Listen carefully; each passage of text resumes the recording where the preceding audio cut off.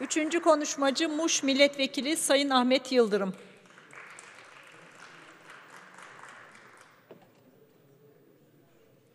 Süreniz 10 dakika. Buyurun. Teşekkür ederim Sayın Başkan. Sayın Başkan, değerli milletvekilleri, ben de parti grubumuz adına TÜBA, TÜBİTAK ve Orman Su İşleri Bakanlığı üzerine düşüncelerimizi ifade etmek üzere söz aldım. Bütün genel kurulu saygıyla selamlıyorum. Ancak bugün 19 Aralık Türkiye demokrasi tarihi açısından iki ayrı müessir olaydan ötürü utanç verici bir gün. Birincisi 19 Aralık 1978 günü Maraş katliamının başladığı, planlı olarak başlatıldığı günün yıl dönümü.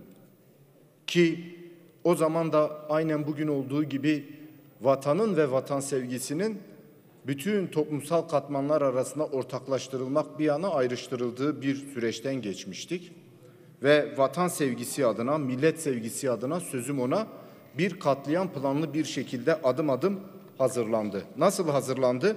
19 Aralık gecesi saat 21'de Maraş Çiçek Sineması'na bir sağcı militan tarafından tahrip gücü düşük bir bomba yerleştirildi ve daha sonra gelişen olaylarda katliama giden yollar Türkoğlu ilçesinden gelen bir e, ırkçı grup tarafından kanımız aksa da zafer İslam'ın ve Müslüman Türkiye sloganlarıyla seyirci kitlesi coşturularak belli parti binalarına saldırılar başlatıldı. 21 Aralık'ta ise bir öğretmen öldürüldü. Öğretmenin cenazesi kaldırılırken gruba saldırı düzenlendi. 22 Aralık günü asıl bomba Bağlarbaşı Camii İmamı Mustafa Yıldız Cuma vaazında şunları söyledi ve kıyamet koptu orada. Oruç tutmak, namaz kılmakla hacı olunmaz. Bir Alevi öldüren beş sefer hacca gitmiş gibi sevap kazanır.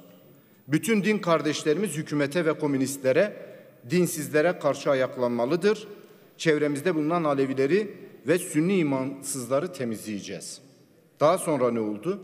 Resmi kayıtlara göre 111 kişi öldürüldü, 270 ev ve iş yeri tahrip edildi ama gayri resmi kayıtlara göre 500 civarında yurttaşımız hunharca katledildi. Öyle bir günün yıl dönümündeyiz. O katliamı gerçekleştirenleri, sessiz kalanları, ortak olanları şiddetle kınıyorum.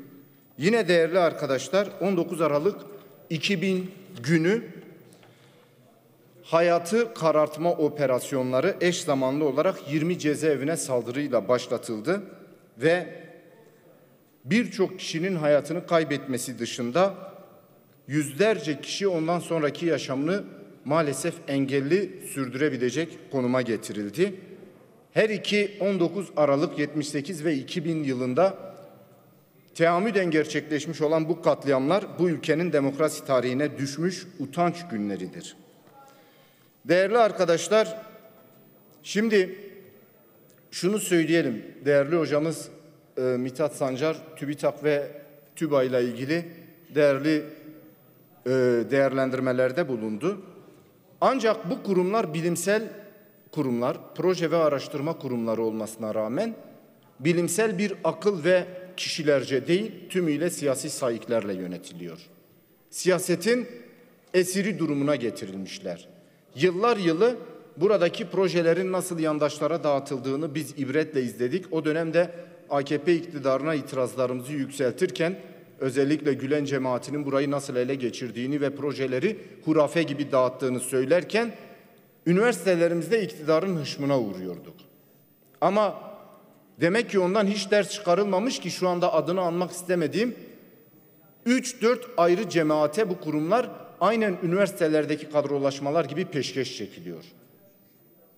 Şimdi ilim yayma 40. Hoca menzil cemaatleri üniversitelerde sözüm ona FETÖ ile mücadele adı altında haksızca kadrolaşmalarla önü açılmış yeni cemaatlerin bizzat iktidar eliyle ihdas ediliyor olması hala geçmişten ders çıkarılmadığının göstergesidir.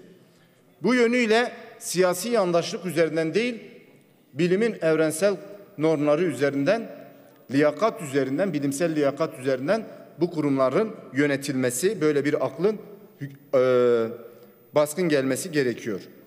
Bir diğer husus özellikle bugüne dair bugün sabah sadece İzmir'de farklı parti teşkilatlarımıza üye ve yöneticilerden 55 kişinin gözaltına alınması ve utanmazca bunun medyaya sözüm ona PKK KCK operasyon diye servis edilmesiyle uyandık.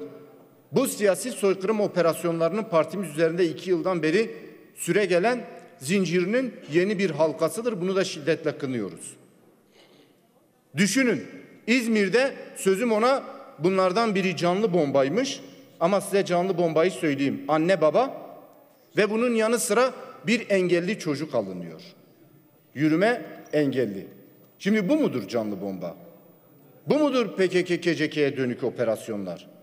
Yaşlı anne baba ve engelli çocuk aynı aileden üç kişi ya açıkça çıkın deyin ki kongreler sürecinde bütün baskılarınıza şiddet dalgalarınıza rağmen HDP il ilçe kongrelerini yaparak coşkulu bir şekilde genel kurultayına doğru gidiyor. Bunu hazmedemiyoruz çünkü iki yıllık bütün kirli politikalarımıza rağmen amacımıza ulaşamadık. Aynı şekilde bakın bir parti binasında arama kararı almak başka bir şeydir. Onun ilçe başkanını avukatları denetiminde çağırmak başka bir şeydir. Korsanvari bir şekilde bir parti binasının kapısının kırılarak içeri girilmesi hukukla yargıyla bir ilgisi yok. Bugün Kadıköy ilçe başkanlığımız bina resmen haydutça korsanca kapısı kırılarak kimseye haber verilmeden içeri giriliyor. Ve orada anahtar olduğu bekleyin kapıyı açalım dendiği halde siyasi iktidarın partimize dönük bu siyasi soykırım operasyonu da şiddetle kınıyorum. Yargı demişken 9 gündür Manisa'da 160 sanıklı 57'si tutuklu partililerimiz yargılanıyor. Sözüm ona bu iktidarın övündüğü en önemli hususlardan biri neydi? Şuydu. Biz ana dilde savunma hakkını çıkardık. Partililerimiz, arkadaşlarımız kendilerini Kürtçe daha iyi ifade edeceğini düşündüğü için ana dilinde savunma yapmak istiyor. Yok bu örgüt propagandasına girer. Ya bu ne perhiz bu ne lahana turşusu. İleri demokrasi diye ana dilde savunma hakkı verdik diyeceksiniz. Kalkıp bunları bir de bu ülkeye 21. yüzyılda yaşatma utancını yaşatacaksınız. Bir diğeri bakın dün siyasi iktidar Suriyeli aşiret ve kabilelerle İstanbul'da bir toplantı yapıyor. Şimdi komşunuzdan, komşu ülkeden farklı aşiretler ve kabileleri toplayıp kendi ülkenizde toplantı yapıyorsunuz ve açıklama yapılıyor. Neymiş? ÖSO ile ulusal ordu kurma amacıyla. Ya bu başka bir ülkenin egemenlik hakkına müdahale değil midir?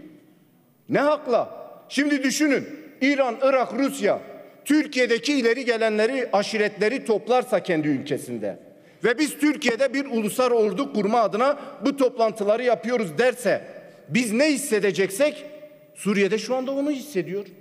Soruyoruz siyasi iktidara. Bu aşiretlerle bu kabilelerle İstanbul'da ÖSO'yla ulusal ordu kurma amacıyla yapmış olduğunuz toplantı Astana sürecinin bir parçası mıdır? Veya Cenevre sürecinin bir parçası mıdır? Yoksa biz başka ülkenin de emenlik hakkını ihlal ederek kendimize dönük saygıyı azaltmanın özel çabası içerisinde miyiz? Bir de ne diyor? PYD, Rusya, İran ve DAEŞ karşısında ortak tavır geliştirmek üzere. Hani siz Rusya ve İran'la ortak iş tutmuştunuz orada? Bu ne iş ya? Şimdi başka bir ülkenin kendi ülkemiz için bunu yapması durumunda ne hissedeceksek şu anda Suriyeliler de kaldı ki öyle orada aşiret falan çağrıldığı da yok. Sadece Türkiye'nin ajanlaştırdığı ve işbirlikçileştirdiği kendine yakın kesimleri çağırması dışında başkaca hiçbir şey yapılmıyor.